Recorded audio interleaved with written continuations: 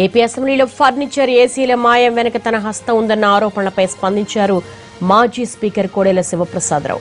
హైదరాబాద్ నుంచి assembly furniture తరలిస్తుండగా సర్దుబాటు చేసుకునే క్రమంలో కొంత ఫర్నిచర్ తాను వినియోగించుకున్నట్టు ఒప్పుకున్నారు ఆయన. గతంలో అనేక సార్లు అసెంబ్లీ అధికారులకు లిఖితపూర్వకంగా లేఖలు రాసి ఫర్నిచర్ తీసుకెళ్ళాలని సూచించినట్లుగా చెప్పారు ఆయన. కానీ దానికి వారి నుంచి ఎలాంటి స్పందన లేదని అధికారులు వస్తే ఫర్నిచర్ అప్పగిస్తారని లేదంటే ఎంత ఖర్చు అయిందో చెబితే చెల్లిస్తారని చెప్పుకొచ్చారు కోడెల. హైదరాబాద్లో ఉన్నటువంటి స్పీకర్ ఛాంబర్కి సంబంధించినటువంటి ఫర్నిచర్ అక్కడ వదిలిపెడితే మెయింటెనెన్స్ ప్రాబ్లం వస్తుంది.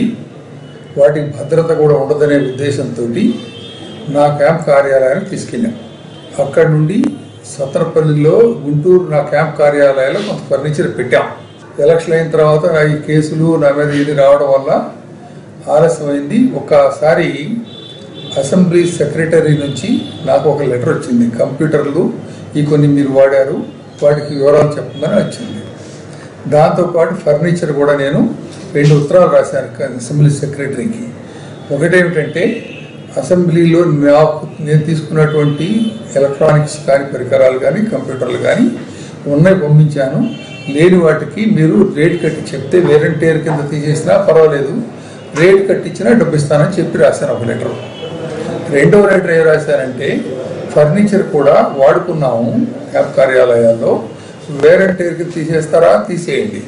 లేకపోతే వాటికి కూడా విలువ కట్టి చెప్తే మేము డబ్బు కట్టుతానని చెప్పి ఒక లెటర్ పంపించాను. పాత అసెంబ్లీ హైదరాబాద్లో ఉన్నటువంటి స్పీకర్ ఛాంబర్కి సంబంధించినటువంటి ఫర్నిచర్ అక్కడ వదిలిపెడితే మెయింటెనెన్స్ ప్రాబ్లం వస్తుంది.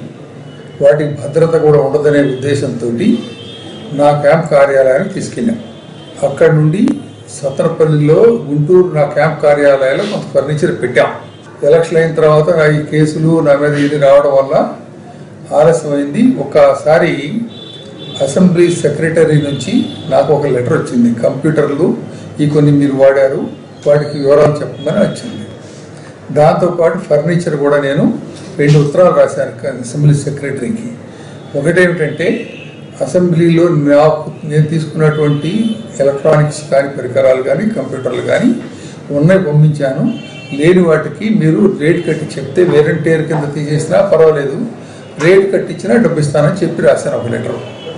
రెండవ లెటర్ ఏం రాశానంటే ఫర్నిచర్ కూడా వాడుకున్నాము యాప్ కార్యాలయాల్లో.